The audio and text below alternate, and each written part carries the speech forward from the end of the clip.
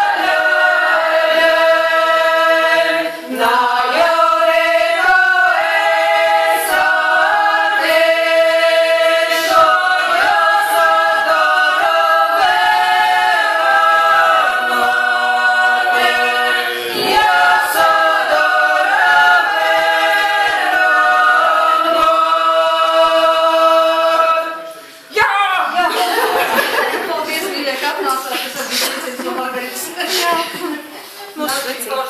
Nu, re, tad nākošais gads tev vajadzēs tiešām operu pasūtīt. Vai divreiz lielāku.